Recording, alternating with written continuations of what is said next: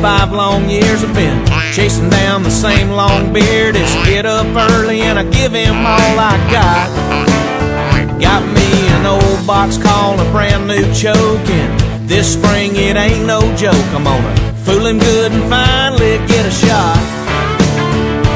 Well, he gobbled his head off on the roost. I was just about to cook his goose. He was coming in, then it's like he hit a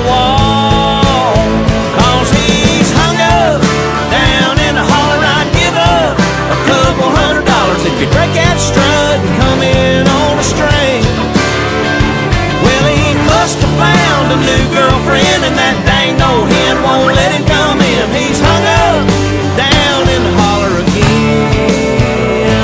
Oh yeah.